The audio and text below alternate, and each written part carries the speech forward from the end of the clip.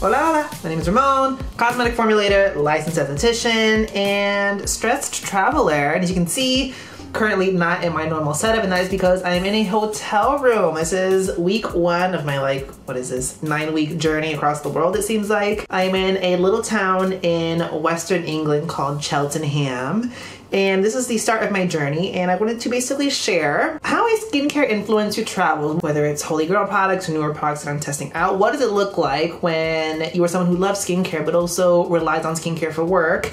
When it comes to packing and what you travel with. Make sure you hit the subscribe button though because over the next few weeks as I'm continuing on this journey, I will be uploading more content kind of talking about my pre and post flight skincare routine, what it looks like when you have to consider different skincare options for very varying climates because I'm going from super hot and muggy to super dry and hot to just overall muggy and tropical. It's going to be all over the place. So make sure you hit that notification bell as well to know when those videos go live. But let's get into it and see what it is I brought with me on this part of my trip. Do know my boyfriend is here with me. So some of the stuff that we have in front of me is stuff that we both mutually share, but also stuff that he specifically was like, I need this for me. So I'm going to be explaining to you what those are and why I brought them. But first and foremost, let's talk about the Holy Grail products that I really had to bring with me because they're the ones that I know will work for me, but also help keep my skin in check. First and foremost, I am a stress traveler. I have so much anxiety when it comes to traveling, whether it's missing trains, missing planes. I am a horrible flyer as much as I fly. And so my skin reacts and I tend to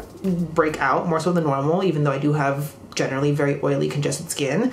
So a spot treatment is definitely one that I have to always have with me. This is one of my favorites, Pimple Potion from Kinship. Salicylic acid plus retinol. So it's going to help, again, kind of prevent breakouts, help with pore congestion, but also that retinol super nice. In my mind, it's like a retinol like serum as well, but retinol specifically also has some nice antibacterial benefits. So whether it is a spot treatment or an all over situation, this is one I always have on me. But besides spot treatments, I also focus on things that are just gonna make sure my skin is gonna be good, my barriers in check. And so obviously I have to have some Stratia favorites with me. Always have my liquid gold. This is my like fourth tube I've got now and definitely one of my staple products period kid I also have a few more Stratia products just because I got some special content coming up with them, so make sure you stay tuned for that. But I'm also testing out a bunch of new products as well, and when I'm traveling, it's a really good opportunity for me to kind of incorporate newer products into my routine, and right now I'm testing out some of the products from Good Light Skincare. I have the entire line, which is all three products, so stay tuned. I'm gonna have a review of those on the channel very, very soon. But obviously, I'm testing out some more sunscreens, and for this trip, I decided to bring along some European mineral sunscreens that I've incorporated into my routine here and there. Moderate success Let's just say today I'm wearing my holy grail, my Eucerin, which my boyfriend was like, this is the one we have to bring for this trip. Very thankful that he did include this. So my boyfriend's other staples that he was adamant that we bring, obviously Hada Labo toners. This is one of his favorites, as well as the Hada Labo SPF, one of our mutual favorites. This is his. I haven't dipped into this just yet, but it's one I do love a lot and one you guys have asked about because I did a review on it, but I haven't really included it in a lot of like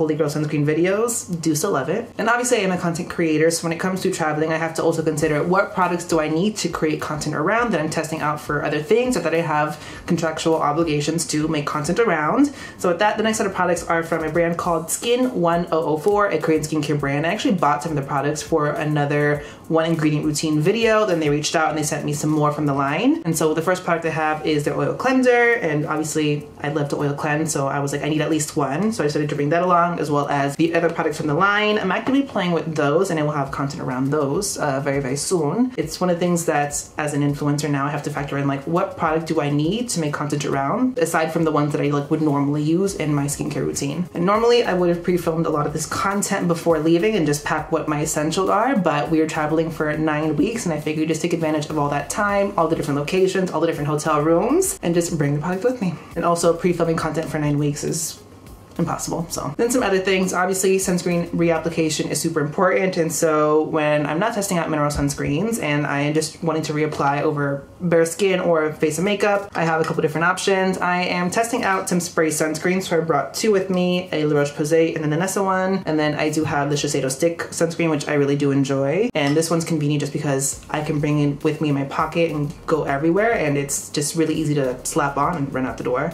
With the other ones, they're aerosol, so they can kind of get a little bit more messy. So hair care, which is something I'm having to consider a little bit more now that this is the situation. Real talk, I'm not partial to any specific products. I have a pomade. This one's from VO5. It's cute, it's cheap.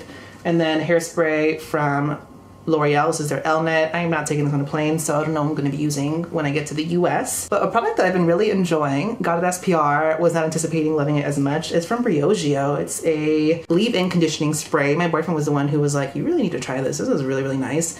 This does a lot to keep my hair from getting really frizzy. It's making it really easy to tame and to blow dry and style. So really enjoying this. Might actually have this be a favorite very soon. Fragrance. Recently, we've been watching a lot of content creators talk about it, but James mentioned it on his story and there's a brand called Penhaligon's.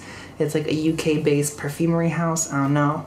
But we went and we were just like, you know what? I'm gonna invest in a new fragrance. What do you got? And she sat there for like an hour showing us all these different fragrances. This is one that I really am partial to. This is one called The Bewitching Yasmine. I'm not a fragrance person that's gonna explain to you the notes and all these different things, but this smells yummy. My boyfriend thinks it smells yummy when I wear it, and that's all that matters. Next is a product I mentioned on the channel before as well. This is the Dr. Sam Flawless Arrival Mask. This is just cute. I like the texture of this. I like the versatility of this being either a really hydrating mask or a sleeping mask. So you can rinse it off after 10 minutes or keep it on. It's also lightweight enough that this could be a daily moisturizer if your skin is actually a little bit more dehydrated and parched but this is actually something I've really, really been enjoying and have not been able to put down. My boyfriend also really likes it a lot, so this is one I probably will be keeping on me for the entire duration of this trip. And then lastly, let's get into makeup. I've thankfully gotten to the point where I don't have to wear makeup all day, every day, but I do like to have the option, but I also need to consider I need it to be as minimal as possible.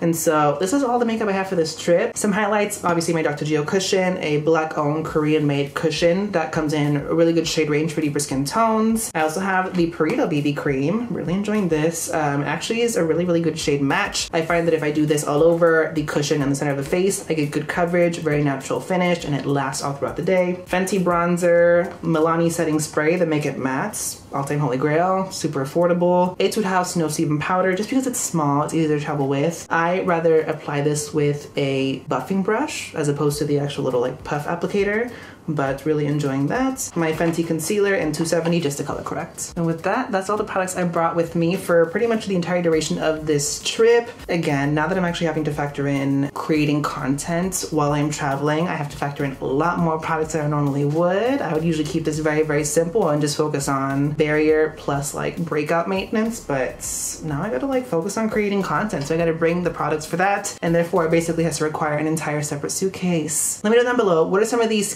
holy grails that you bring along whenever you travel and why? Are any of these your favorites? What are some more travel related skincare videos you want to see? I will be uploading my pre and post flight skincare routine very, very soon. So again, make sure you hit the notification bell for that video. Give it a thumbs up and thanks for watching guys. Bye.